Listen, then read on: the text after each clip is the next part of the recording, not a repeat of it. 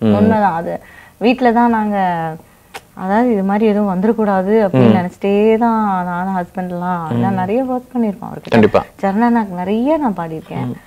அப்படி இருக்கும்போது அந்த டைம் வீட்டில் வந்துட்டு அப்படி அந்த நியூஸ் வந்தோடனே அப்படியே எங்களால் வந்து நிச்சயமாவே அதை டைஜஸ்ட் பண்ணவே முடியல. எங்களை ரெண்டு பேருமே வந்து லிட்ரலி அங்கேயே உட்காந்து கண்ணில் தானா வருது. நம்ம அழணும்னு அப்படியே கேட்ட உடனே அப்படியே ரெண்டு பேருக்குமே முடியல. சரின்னு சொல்லிட்டு எங்களுக்கு வந்துட்டு ஏன்னா ரொம்ப ரெஸ்ட்ரிக்ஷன்ஸ்லாம் நிறைய இருந்தது. ஆனாலும் அங்கிளை பார்க்கணும் அப்படின்ட்டு. பட் என்னன்னா ஃப்ராங்கா சொன்னா அந்த மாதிரி ஒரு ஸ்டேஜ்ல அங்கிளை பார்க்குற அந்த அளவுக்கும் தைரியம் இல்ல. அவ்வளவு ஜாய்ஃபுல்லான ஒரு பர்சனை அப்படி ஒரு இடத்துல பார்க்கறதுக்கும் இல்லை. ஆனாலும் போனோம்.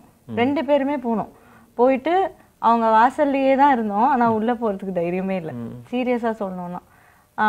அங்க ரோட்லயே தான் நின்றுட்டு இருந்தோம் ரெண்டு பேருமே. அது அவங்க யாருக்குமே கொஞ்சம் பேருக்கு தான் தெரிஞ்சிருக்கும்.